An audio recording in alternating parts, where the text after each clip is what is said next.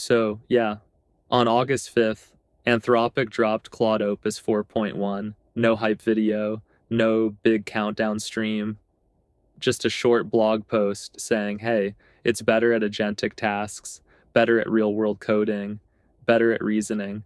And then they just walked away. And you know what?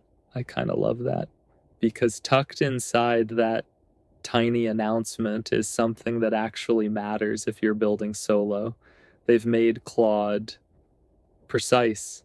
It's not just more accurate on some benchmark, although it is 74.5% verified if you care about the numbers. It's that it finally feels like it knows when to make a change and when to leave your code alone. Real quick, I'm Daniel. I've been in the iOS game for almost eight years, freelancing and shipping apps for other people. But since DubDub 25, I've gone full solo dev, started building in public, and yeah, kind of figuring out this personal brand thing as I go. More on that for another video. Opus 4.1 isn't some massive, forget everything you knew kind of update.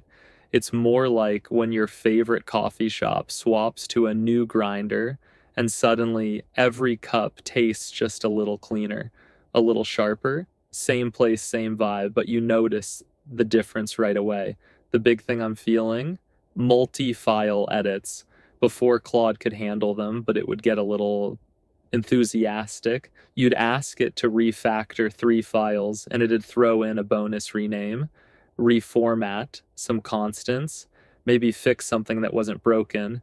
Now it's like it's learned restraint. It only changes what you actually asked for. Rakuten's engineers are saying the same thing, pinpointing the exact line to fix without the extra noise.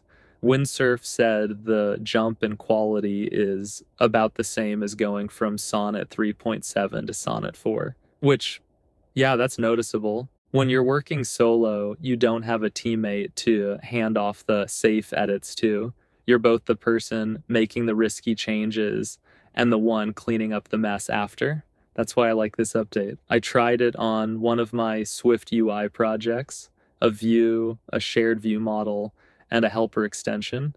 Opus 4 would do the job, but I'd always have a few, uh, why did you change that moments. Opus 4.1 went straight in made the edits and didn't touch anything else. No style rewrites, no surprise refactors. It felt like working with someone who knows the code base well enough to not step on rakes. So, you know, I've got my setup, Claude.md for context, a few custom slash commands for my usual Swift patterns, and that explore uh, plan code review loop I won't shut up about. Opus 4.1 just slides right in.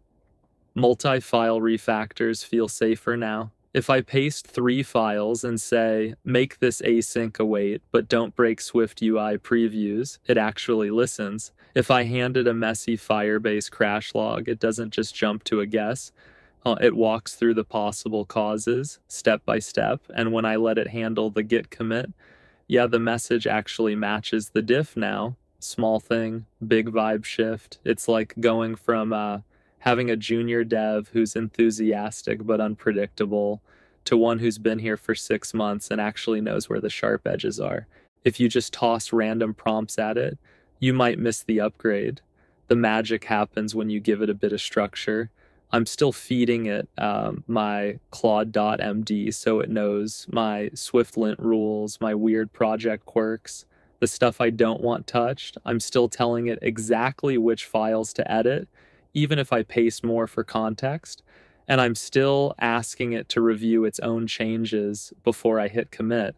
It's not that it suddenly got perfect. Uh, it's that now when it's good, it's really good. And that means I can trust it with stuff I used to do myself just to avoid the cleanup. Anthropic's already hinting that way bigger upgrades are coming in the next few weeks. So this feels like the pregame, tightening the screws, smoothing out the rough edges before the bigger leap. My guess, we'll see more long session reliability, like uh, the ability to keep context for hours without wandering off. If they pull that off, we might actually get close to an AI pair programmer who doesn't forget what you were talking about by lunch. So, yeah, Claude Opus 4.1 isn't the kind of update that makes headlines. But if you're already using Claude Code, you'll feel it, especially on those multi file refactors that used to make you hold your breath. Try it, give it a small, well contained problem, and see how it handles the plan. Worst case, you find the edges. Best case, you get a clean, correct edit in one go and you keep your momentum. If you do try it, let me know. Drop a comment, send me a DM on Instagram at Solo Swift Crafter, whatever works. I want to hear if it's clicking for you too. Until next time, keep crafting, keep shipping, and let your tools make solo dev just a little less lonely. Peace.